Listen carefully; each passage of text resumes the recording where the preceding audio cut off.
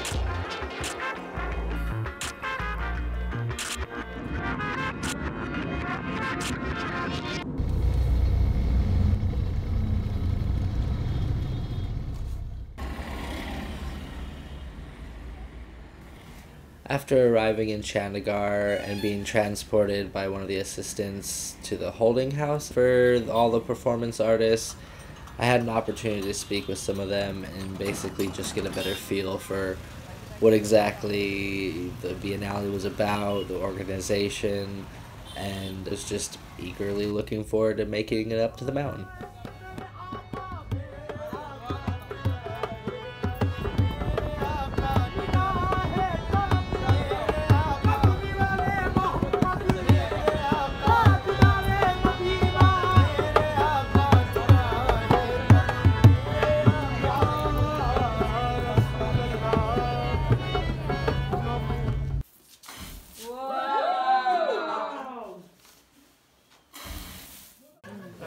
আমরা সব মিলিয়ে বোধহয় অল इंडिया देखना पाजी देखना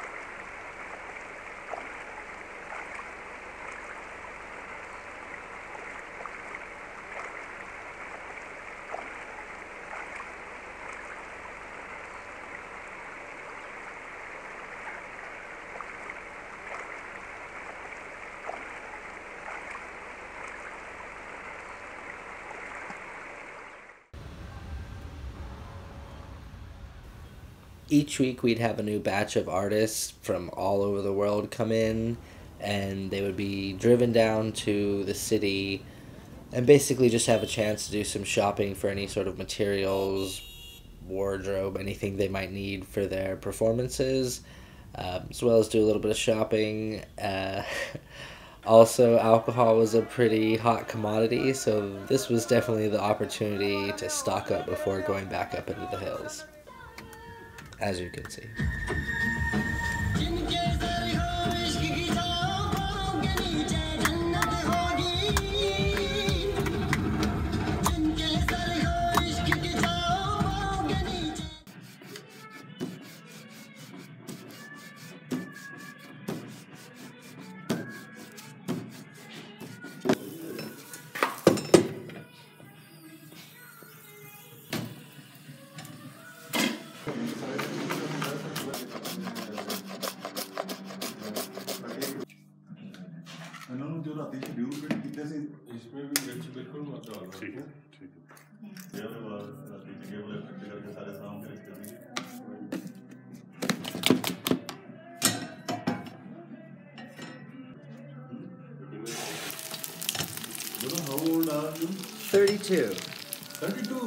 Sir. Oh man.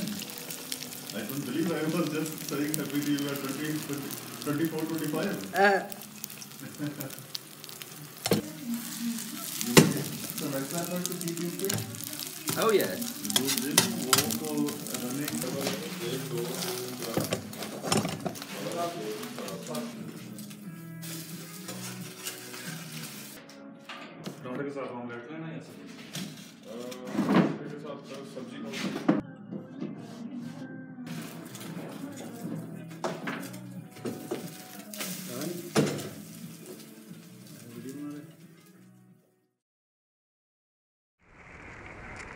I'm sorry. But I don't want to be a, an emperor. That's not my business. I don't want to rule or conquer anyone. I should like to help everyone if possible Jew, Gentile, black man, white. We all want to help one another. Human beings are like that. We want to live by each other's happiness, not by each other's misery. We don't want to hate and despise one another. In this world, there's room for everyone, and the good earth is rich and can provide for everyone.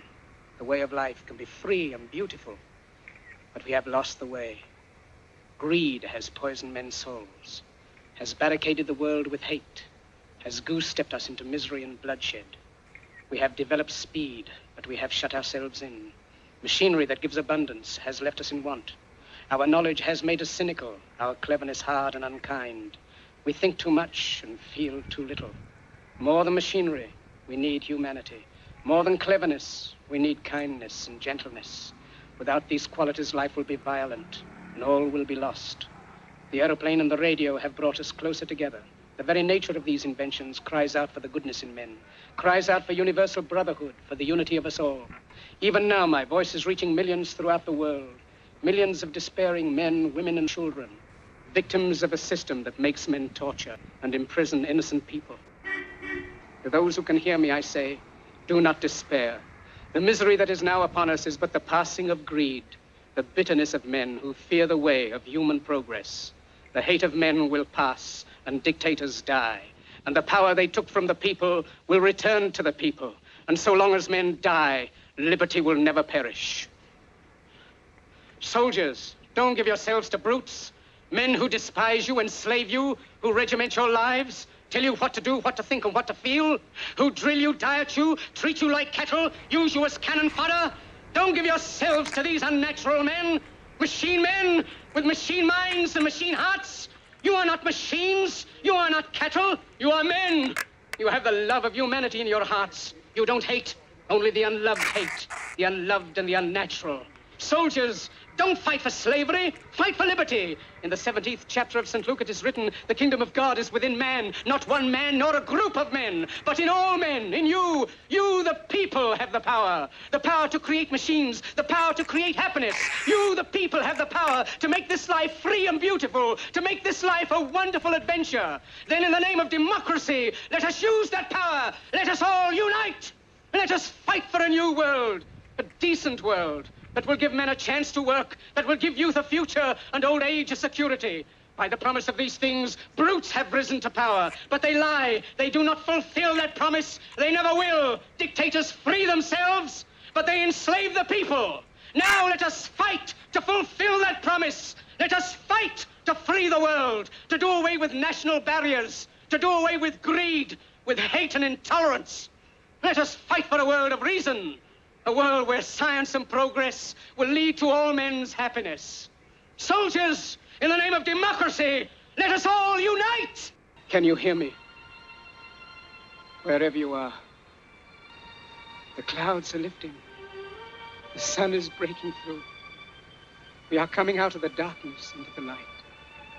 We are coming into a new world, a kindlier world, where men will rise above their hate, their greed, and brutality. The soul of man has been given wings, and at last he is beginning to fly. He is flying into the rainbow, into the light of hope, into the future, the glorious future that belongs to you, to me, and to all of us.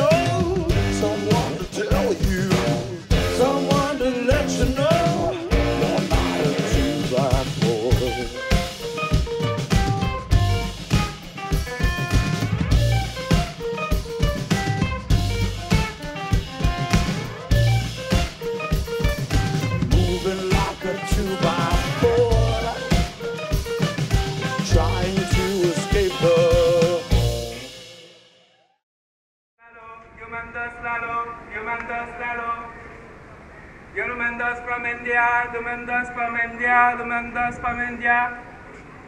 Humandas from India, Humandas from India. Make your flight. Humandas from India, Humandas from India. Humandas Lalo, Humandas Lalo, Humandas Lalo. Much, name your price. Please, 100 rupees. 100 rupees. 80. Yeah, 80 rupees. Yemendas. Yemendas. 400 rupees. It's a bit of you. Yemendas from India. Can I buy it for this? Mm, no, I don't try. I only take rupees. Yemendas, Lalo, Yemendas. So there's a bit of you in it. Please read carefully. Okay, okay. Take care. 40 rupees? Ma'am, please.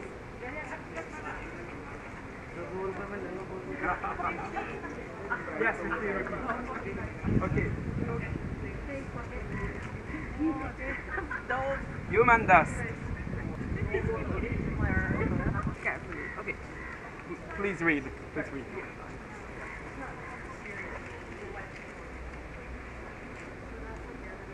No, it's art. It's art. Yes, art. Art. Yes. I, I tried to give you my heart. You refuse. Oh, I refuse for sure. I don't trust. I take rupees. So, uh, what is the final price? Name your price. It's our art. You know, it's Okay, 40. speculation. 40? 40. 50? 40. 10. 10? Okay. This is 30, my dear. Thank you, G. Take it and read it carefully. Thank you. یمن دست لالا یمن دست لالا دست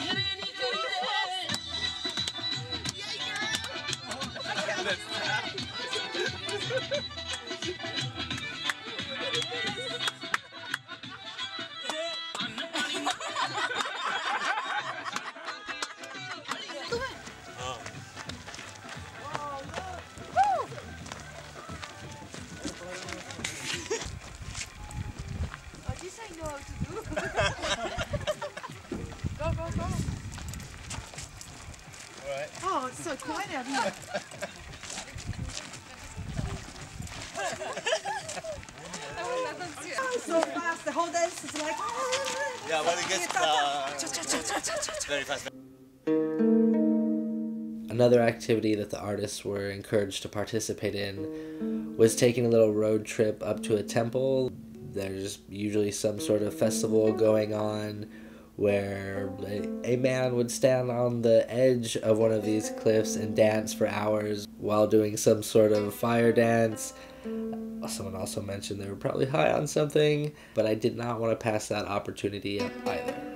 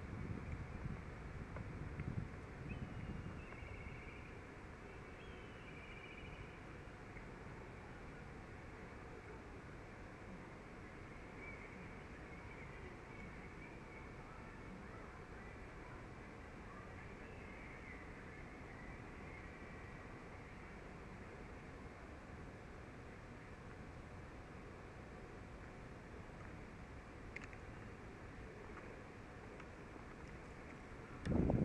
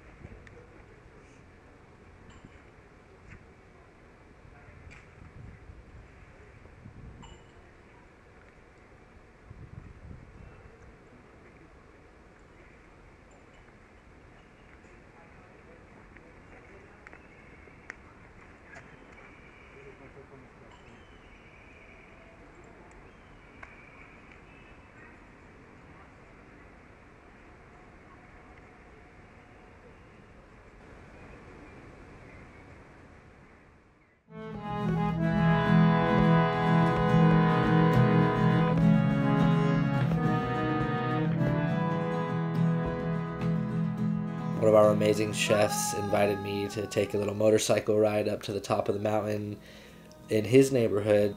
Brought the cameras with me. It was beautiful. Although I believe his family was a little bit uncomfortable with me coming in with my camera, so I left that out, but it was a really beautiful road trip, and I'm so grateful that I got to take it.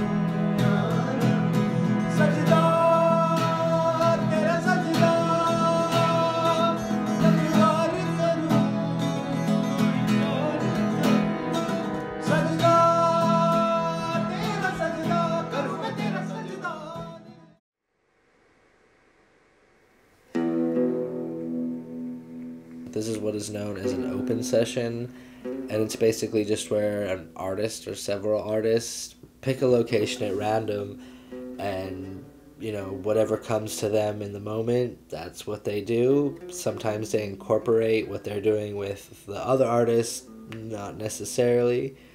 As a filmmaker it was it was a little difficult to be able to find some way to weave it all together so i ended up just trying to let the visuals speak for themselves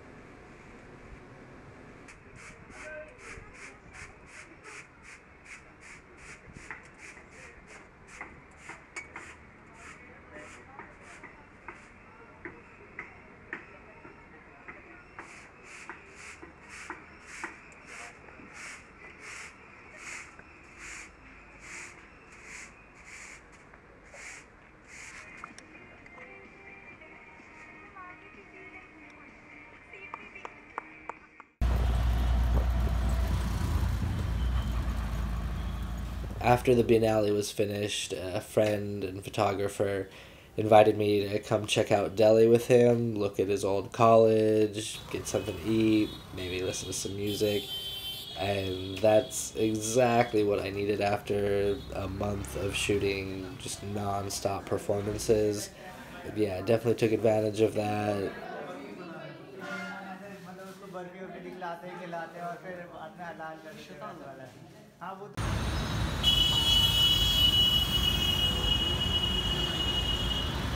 る。の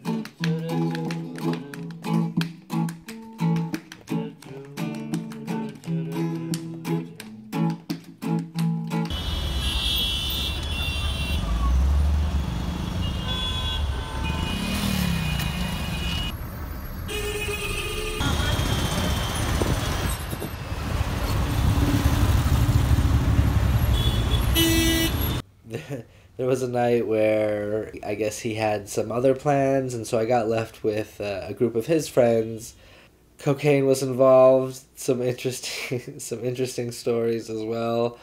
Uh, some terrorist links, but uh, yeah, it was amazing, and wouldn't have uh, taken it back for the world. That's like seven kebab for a dollar. Seven kebabs for a dollar.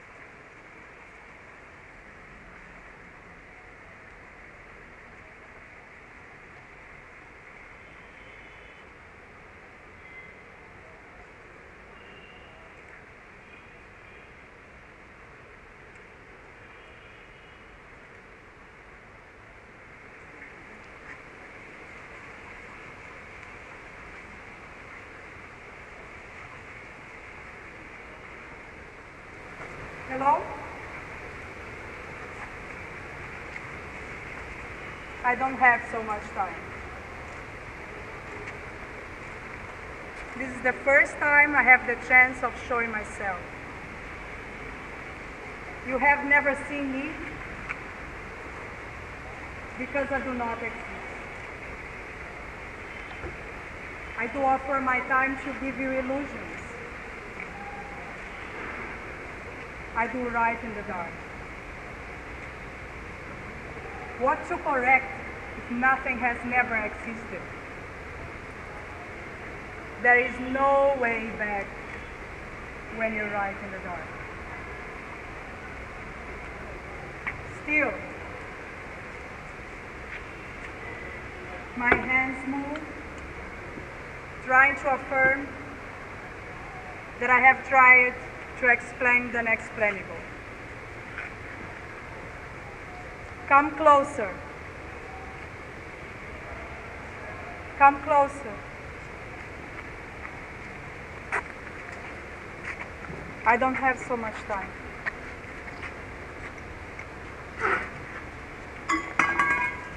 Touch my belly button.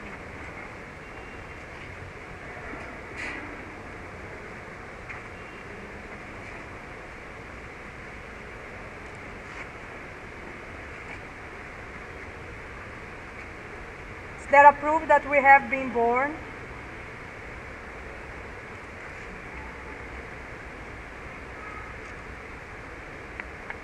I'm nothing.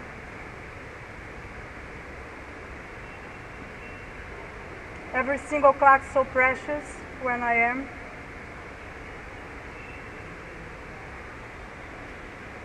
I can't sleep.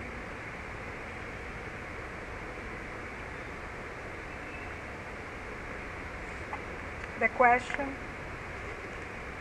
was